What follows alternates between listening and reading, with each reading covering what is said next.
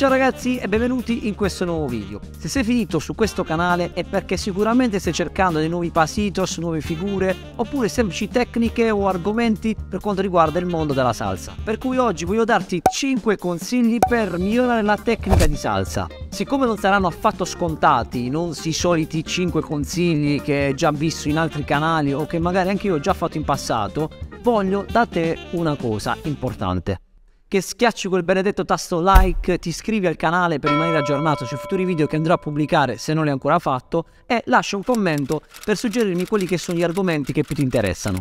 Ho un sogno nel cassetto che è quello di arrivare a 5.000 iscritti entro la fine del 2023, quindi ti chiedo di darmi una mano con queste semplici azioni. Bene, entriamo nel vivo dei 5 consigli che voglio darti. Se non mi conosci già, io sono Luigi Marchese, ballerino, insegnante di danze caraibiche e assieme a Simona abbiamo fondato un'accademia interamente online che si chiama Salsa Pro Academy. La scuola di ballo sempre a portata di mano che potrai utilizzare dove e quando vuoi tu.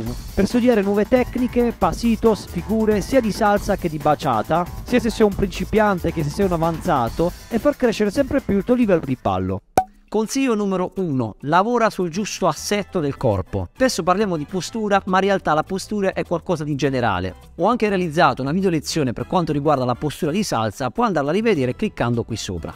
Quello in cui invece devi prestare attenzione è l'assetto del tuo corpo che devi avere in relazione allo stile ballato. Ad esempio, quando balli salsa, se stai seguendo un passo di rumba, sicuramente il tuo assetto del corpo è diverso quando vai ad eseguire ad esempio un passo del son. Infatti quello che dà la diversità al tuo passo sono proprio gli assetti del corpo più che il passo in sé. Anche perché il passo può essere eseguito con dinamiche diverse, come abbiamo visto nella scorsa lezione dell'apertura paratras, che puoi trovare sempre cliccando un tasto qui sopra.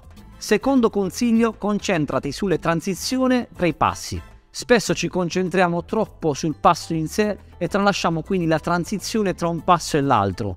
Per migliorare la tua tecnica cerca di rendere queste transizioni fluide e armoniose. Per transizione possiamo intendere due cose distinte e separate. La prima è il passaggio tra un singolo passo e l'altro, la seconda è il passaggio tra un tipo di passo specifico ad un altro. La prima transizione, ad esempio, quindi una base alternata, quindi il passaggio tra il primo e il secondo passo, quindi in mezzo al primo e secondo passo c'è un tempo, ok? E c'è anche una tecnica ben specifica da attuare. Quindi, partendo ad esempio in una base alternata, andiamo a sviluppare il movimento per il passo successivo. Ho anche parlato di tecnica e di come andarla a sviluppare all'interno di una delle varie puntate di Salsa Report Newsletter, la nostra newsletter che potrai ricevere quindi ogni settimana all'interno della tua casella email. Per iscriverti in maniera gratuita e ricevere altri contenuti di valore ti lascio il link in descrizione. Fammi sapere se sei già iscritto o iscritta alla newsletter e se hai ricevuto l'email e l'hai trovata interessante. Ad ogni modo non mi soffermo molto sulla spiegazione tecnica perché all'interno di Salsa Pro Academy ci sono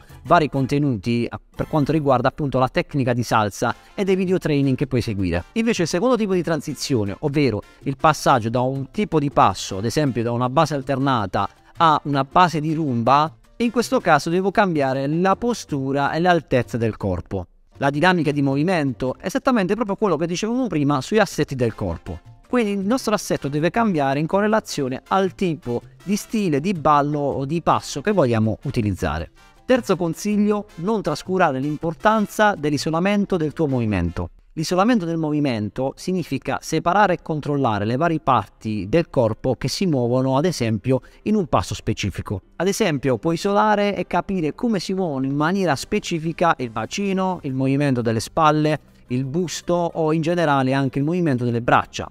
Quindi allenarti a isolare il movimento di ogni parte del corpo migliora anche quello che è il tuo ballo in generale e ti rende più preciso nei movimenti. Quarto consiglio, prova ad eseguire i passi con ritmi diversi. Concentrati sui passi base all'inizio, quindi prova ad esempio un CCQ o un 3 stress, cercando di renderli più veloci, più lenti o praticamente utilizzando un timing diverso. Per timing intendiamo proprio il tempo in cui vai ad eseguire il passo. Quindi ad esempio un esercizio che noi facciamo all'interno dei nostri corsi è proprio quello di andare a eliminare la pausa e di ballare tutti i passi uno successivamente all'altro, senza pause. In tal modo ovviamente poi è necessario diventare padroni di questo tempo, ok, di questo cambio ritmico, per poi trovarti ovviamente a ricominciare ad esempio con una base, il passo a tempo, oppure ovviamente se stai ballando controtempo, quindi appunto in controtempo. Quindi il lavoro che devi fare è semplicemente metterti lì e iniziare a utilizzare i passi base cambiando appunto i tempi.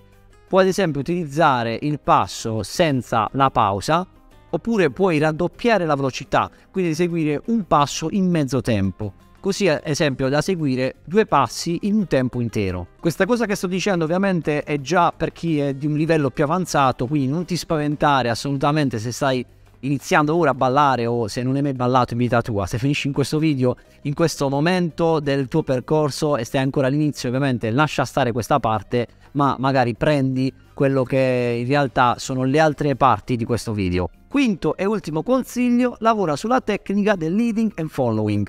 Non sono due brutte parole, ma sono semplicemente il modo inglese di chiamare le guide. In una coppia c'è sempre colui che guida ed è il cavaliere e c'è anche una persona che segue che ovviamente è la dama. Quindi sviluppare una maggiore capacità di guidare la dama e ovviamente per le dame di seguire la guida dell'uomo. Ciò richiede ovviamente una maggiore comunicazione all'interno della coppia, alla coordinazione dei movimenti, all'ascolto preciso e perfetto della musica. In questo modo creerai una danza armoniosa e piacevole da guardare, ma in generale, perché poi alla fine è lo scopo del ballo, ti divertirai maggiormente col tuo partner perché appunto sarai in simbiosi con lui. Questi erano i miei 5 consigli che sentivo di darti per quanto riguarda il miglioramento sulla tecnica di salsa. Spero che ti siano stati utili, lascia un like se questo video ti è piaciuto e iscriviti al canale se non l'hai ancora fatto. Come sempre ti invito a lasciare un commento perché per me è importante.